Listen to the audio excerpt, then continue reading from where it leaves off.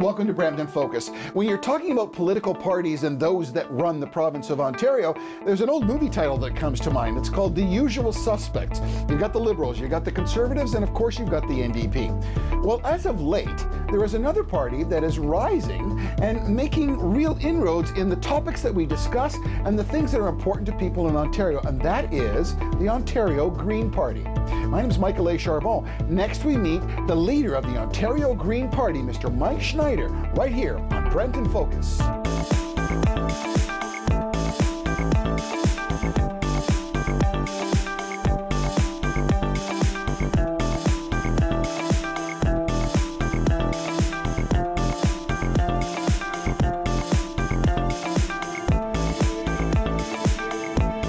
Welcome back to Brampton Focus. You know, this party has never held a seat in the provincial legislature, but in 2007 they uh, actually occupied 8% of the popular vote. Pretty impressive, you would think. Well, in 2008, sorry, that was 2007, 8% of the vote. In 2008, they represented 13% of the popular vote. Um, they're known as a party that is socially progressive, fiscally conservative, and environmentally aware, and that's the Green Party. Now, if you say the Green Party immediately, you think of the federal Green Party with Elizabeth May. But what we're talking about today is the Ontario Green Party. And my guest, Mr. Mike Schreiner, uh, was elected the leader of the Ontario Green Party in 2009 and joins us here today on Brampton Focus. Mike, welcome to Brampton Focus. Michael, it's a pleasure to be on Brampton Focus. Uh, Mike, you got a hard gig to look up. You got a, a liberal uh, majority government. You've got uh, two other parties, the Liberals and the Conservatives. Um, we've had the opportunity to interview uh, Patrick Brown, the leader of the Conservatives, and Andrea Horwath uh, from the NDP. We thought it only fitting that we would interview you, but it's so difficult to uh, be able to gain momentum because you haven't had a seat yet. How, how are you going to fix that for the folks in Ontario? How are we going to get um, a Green Party person elected provincially? Well, first of all, the Green Party is going to continue to drive policy change in Ontario. We're leading the charge on fundraising reform. We've been leading the charge on climate action. We've been leading the charge on the new economy and how Ontario repositions itself. We're going to leverage the change we're already bringing to Queen's Park into a seat. Uh, I plan to get elected in Guelph in the 2018 provincial election. Uh, I got 20% of the vote in the last election in Guelph, and uh, I intend to win and bring the change that we've been bringing already. We're going to ramp it up once we have a seat at Queen's Park. Now, uh, you always got to uh, reference stereotypes, and I, and I, don't mean to be uh, demeaning here, but some would say sometimes the Green Party is associated with tree huggers. What do you know about economics when it's all about the saving the environment and don't cut down the tree? Al although environment and uh, socially conscious uh, care of our planet is part of your platform. That is not the only thing that you guys are representing. Well, I think I'm the only political leader of the major parties in Ontario that's actually run a business, created jobs, uh, mortgaged my house to start that business. I started one of Ontario's first local uh, organic food businesses in Guelph 20 years ago. It's actually moved to Brampton. It's very near to this location. And you won business, was, business of the year for Brampton, which a is few a, years ago. Absolutely, yeah. yeah. So, so I've demonstrated an ability to run a successful small business. And if you look at a number of Green Party candidates, and a lot of our supporters are entrepreneurs and small business owners because they understand that the jobs of the 21st century are the jobs in the clean economy. That's the economy we're fighting for. So, uh, in the last election, the last federal election, or the last provincial election, I should say, uh, when we went around uh, Brampton, you could see all the various signs. You're representing the provincial Green Party. Mm-hmm. the biggest optic that most people are aware of is Elizabeth May and the Green Party, the federal mm-hmm. Green Party. Is she a positive or a hindrance to what you're trying to get accomplished? How aligned are you two? mm-hmm. I think Elizabeth's a very big positive for the Green Party of Ontario because, in the same way Elizabeth's been a voice of change in Ottawa, she's completely changed the way that even the decorum there by insisting that uh, we focus on instead of gotcha politics and negative politics. Mm. She's brought a positive tone. She's brought honesty, integrity. She focuses on good public policy. That's exactly what I want to do at Queen's Park. That's the kind of change the Green Party of Ontario is going to bring to Queen's Park. It, it is difficult, and we can we can see that in some of the changes that are realizing now with a majority government. I mean, the people's voice is what uh, what has to be executed. That's why we go to the polls. That's why we vote. Um, you have to get skin in the game. It's very difficult. I mean, we've heard from uh, people from the Green Party. They're included uh, in our debates. Brampton focused did an all candidates debate. Mm. We always include the Green Party. Their voice is as important as any other party. But how do you break through? How, how do you make that step? What, what's it going to take to actually get someone to have a seat? Well, I think the biggest thing is is, is electing that first Green MPP. Mm-hmm. Because one of the biggest barriers we face, I have people tell me this all the time, like, you guys have the best platform, you have the best policy ideas, your candidates are very well spoken, you're an articulate leader but can you really get elected? And so we've shown that in um, BC, both uh, provincially with Andrew Weaver and federally with Elizabeth May. We've elected MLAs in New Brunswick and Prince Edward Island now. Um, we think the same thing is going to happen here in Ontario. And the best way we're going to do that is grassroots engagement and mobilization. That's how we do it. We have hundreds of volunteers working on our campaigns. You know, we fund our party through thousands of small donations, and it's that kind of grassroots engagement and mobilization that's going to elect our first Green MPP. So two things come up. I don't want to lose the grassroots engagement thing, but I, before I forget, it, you look at, at parties, and the Liberal Party is, is famous for that. They hear a good idea from someone else and they adopt it themselves, and then they run to the front of the classroom and say, we thought of this, we thought of this. Where in actual fact, when you talk about raising funds, which relates to, mm. you're using the Bernie Sanders uh, formula, if you wish, uh, borrowing uh, uh a Democrat uh, premise of small grassroots funding, lots of people, small amounts of money. But the Green Party was a party that brought forth that we have to look at electoral reform and we have to look look at electoral funding in more of a realistic point of view, and that's what the Liberals are talking about now. Well, we want to get big money out of politics, and part of the reason we're focused on getting big money out of politics is is the Liberals, the Kathleen Wynne Liberals in particular, mm-hmm. they've had like 190 private fundraisers raise about $19 million. And you can't tell me that having a private $100,000 fundraiser uh, where you get special access, you can buy access to the premier, is not affecting public policy in this province. And it's breeding cynicism. It's making people upset. It's what's leading to you know what mm. you're seeing with Bernie Sanders. Well, people want big money out of politics, mm. and that's what the Green Party's standing for. And we're going to keep pushing and fighting until the other parties pass legislation that gets big money out so of politics. About 30 seconds left in this segment. How would you put a bow on that as far as uh, as far as election financing is concerned?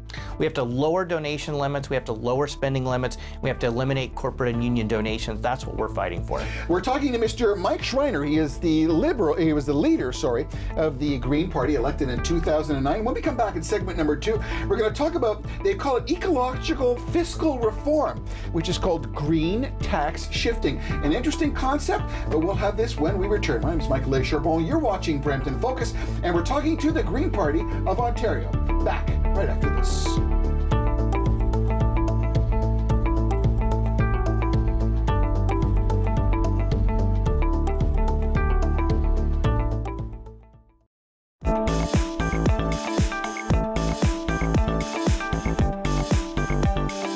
And welcome back to Brampton Focus.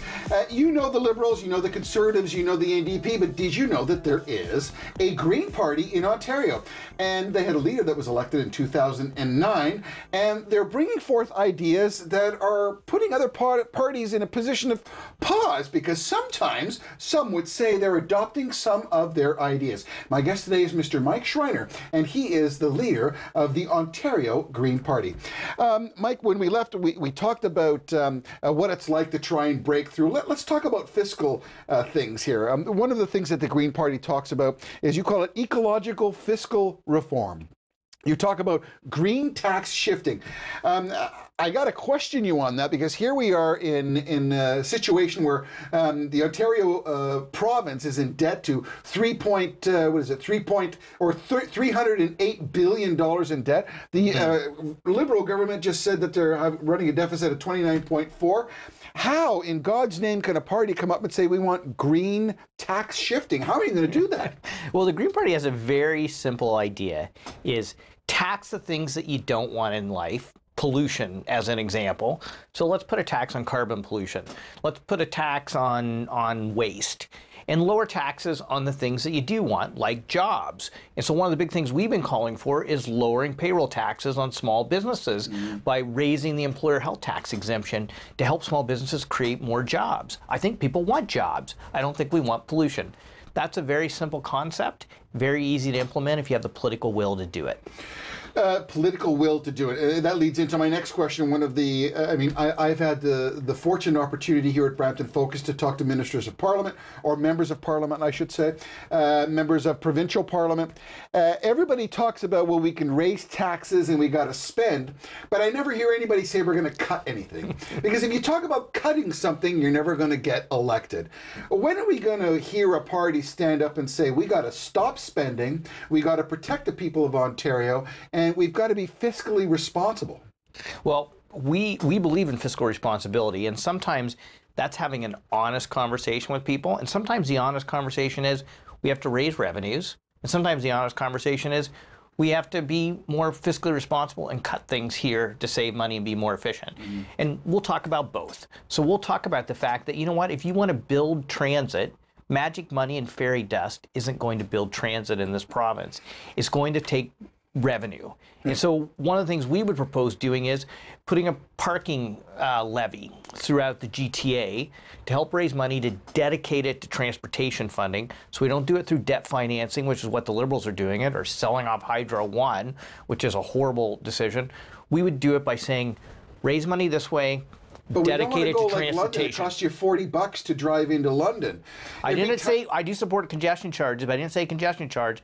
I said a parking levy, two dollar a day parking levy. But you're putting raises, more taxes on us who are driving and trying to create a living. It, but I'm trying to get cars off the road. Congestion costs. Congestion. Congestion. Congestion costs our economy six billion dollars a year. Right now, it's going to go to fifteen billion dollars if we don't deal with this. I can tell you from running my local food company and trying to run delivery vans into yeah. Toronto, it costs businesses a lot of money to deal with gridlock. I want to end that gridlock. The only way you're going to do it is to build transportation infrastructure, particularly transit infrastructure. Magic money and fairy dust isn't going to pay for so, it. So we're going to be honest with you. Other parties will no, pretend like it, you can pay for it with fairy dust. We're going to be honest with people about it. What do you say about uh, the Liberal government now uh, trying to sell Hydro One? It makes seven hundred and fifty million dollars yeah. a year. They're talking about potentially selling part of the LCBO, talking about selling the OLG. These are all annuities, and I say that with all honesty, that return money to the bottom line of Ontario. That is keeping us in in the stature and in the in, in the, the level of comfort that we wish to live here, how are you going to mitigate that? Yeah. The sell-off of Hydro One by the Liberal government is a horrendous decision. It's a money loser. The Financial Accountability Officer said it's a money loser. Uh, Auditor General said it's a money loser. Yeah. Independent studies have said it's a money loser. Not and not Hydro One. The sale of it. The sale of Hydro right. One's a loser yeah, because the profit, the, the, pro, the profit, the profit from it's about 400 million a year that goes directly to the province. $750 million a year is what Hydro One is to make. Yeah. And you look at one of the largest conglomerates that controls alcohol, uh, alcohol and wine purchase in the world. It is the LCBO, yeah. the Liquor Control Board of Ontario. Yeah. It's like selling your house off to pay for a vacation and then you have to pay rent the rest of your life makes no sense whatsoever. That's why we're fighting against it. But the problem is the Liberals have 100% of the power with only 38% of the vote because of our outdated electoral system. Well, let's go to that. And let's, so, okay, and so all of us opposition parties are trying to stop this, but we don't have the power to stop it. So let's talk about electoral reform. I mean, that's another one of those things. I mean, the Liberals said uh, when they got elected federally that that was one of the things that they wanted to do. One person, one vote. Absolutely. Uh, right now, it's called first past the post. For any of you political science majors out there, you can rhyme it off. But basically, it's certain regions have more seats than other regions. Uh, so it isn't necessarily one person, one vote. Uh, you want to be able to change that. You want one person, one vote. Some would say that it's going to clutter our political system. Others have said there's it works just great in Europe. Well, if you look around the world, uh, proportional representation works fantastic. I think it's fundamentally wrong when you have a situation like we do in Ontario where 38.5% of the vote gets you 100% of the power. Federally, the Trudeau Liberals got 39% of the vote, they have 100% of the power. That's just wrong. That means millions of Canadians are not represented by somebody they voted for. So if you're, as an example, if you're a conservative who lives in downtown Toronto in a riding that usually always goes liberal, what incentive do you have to vote if your vote doesn't count? Me, likewise, if you're a liberal who lives in rural Ontario and a riding that mostly always goes conservative, you're less likely to vote because, like, my vote doesn't count. So that's take, why you're only seeing about half the population minute, actually with vote. Minute, with a minute left, uh, and using the fairy dust concept, in 2008 you represented 13% of the popular vote. Could we have conceivably uh, said that you would have had some seats? Oh, absolutely. The Green Party um, would have probably about 10 seats in the provincial legislature and probably around 15 federally. And so can imagine we could be bringing issues to the table that the other parties are afraid to talk about. And that's something Canadians are missing out on. We're talking to the leader of the Ontario Green Party, Mr. Mike Schreiner, when we come back for our final segment, which is our third segment. Uh, and this is a pet peeve for me. This is Aberfoyle, who's uh, bottling water. And you talk about a deal, uh, 6.4 million liters of water for $20.03. You're watching Brampton Focus. My name is Michael A. Charbon. Back right after this.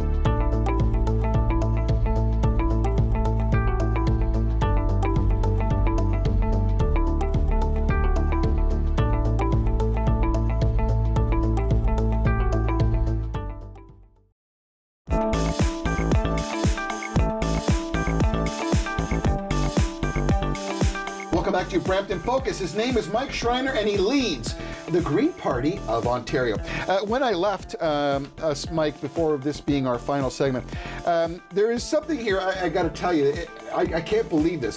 Aberfoyle, which is outside of Guelph, right. which is a company that bottles water, uh, they. Um, it comes down to it's it's beyond my comprehension. Three dollars and seventy one cents for a million liters of water, and they're trying to renew their contract now, yeah. where they want to take six point four million liters of water and pay twenty dollars and three cents. That's right, folks. 6.4 million liters of water. What I pay to fill my pool and to water my lawn compared to this. Why is this happening? And why is it that the Green Party are the people that are waving this flag? Well, we just think it's outrageous that the province of Ontario only charges companies like Nestle, which is the company operating at Aberfoyle, $3.71 per million. Hear me straight, that's per million liters of water they take. I was at Queen's Park recently and I was telling the reporters there, and I know one of your guys handed me this and said, You want a bottle of water? I refuse to drink this. I refuse to drink this. I took the reporters downstairs and I said, You know what? Look at this. This costs like, I think it was $1.99, two bucks or something in the vending machine in the basement of Queen's Park.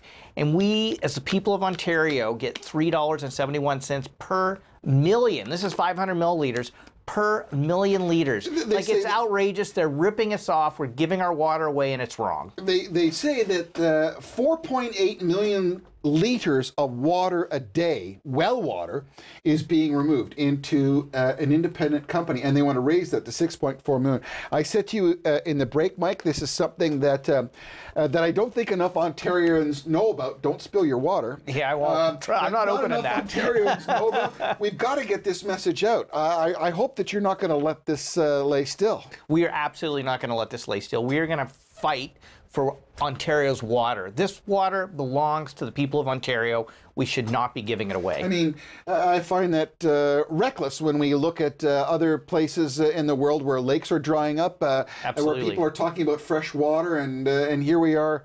Four point, I can't believe 4.8 million liters a day, and they're paying 375 per million. And Michael, this has huge implications for our economy as well, because the food and agricultural sector is the biggest employer in this province water is essential to growing the food that we eat and supporting that industry. So uh, another issue which uh, the Green Party of Ontario uh, is very much in the first uh, driver's seat, as one would say, is uh, the First Nations uh, grassy narrows just north of Kenora. There's a, a, mercury poisoning problem there. And you actually, Mike, you wrote a letter to Kathleen Wynne. Mm. You said, and I'll quote you, you said, your government cannot continue to drag its feet on this issue. People's lives are at stake. Um, I don't know how many people remember this, but uh, give us a bit of background on, on Grassy Narrows and the mercury problem that exists there. Yeah, so back in the 1960s, a pulp and paper mill in Dryden dumped a bunch of mercury poisoning into the water, contaminating the water system, and you know creating huge economic problems. Get to mm-hmm. shut down the commercial fish industry, close fishing lodges, put people out of work. But more importantly, it's affected three generations of people's health. People in grassy narrows are still dealing with mercury poisoning. And what do we have to do now? So in 1984, there was a plan put forward to cabinet in Ontario to clean it up. Mm-hmm. Cabinet denied it. Ever since then, the government has just ignored the problem. We're saying we can't ignore this problem any longer. A new report was released just last month showing that we can clean up grassy narrows. Mm-hmm. The premier has said, oh, we're concerned or whatever, but she hasn't committed to cleaning up the mercury. We owe it to the people of Grassy Narrows, and we owe it to all Ontarians to say that when we have a problem like this, the people of Ontario and the government of Ontario will step up and do the right thing and clean up the poisoning. We, we, we, owe it to our First Nations people. Absolutely. So there's two issues that uh, I don't think would have been brought to the fore if it wasn't for uh, the Green Party. So if you were going to rub your magic uh, your magic ball and think about uh, where you're going to be in the 2018 election, um, what are going to be some of the things that you're going to do, the metrics that you're going to ramp up? And as we talked about the Bernie Sanders aspect of small amounts of funding, grassroots, how are you going to make a difference so we can see someone from uh, the Green Party sitting in our provincial legislature?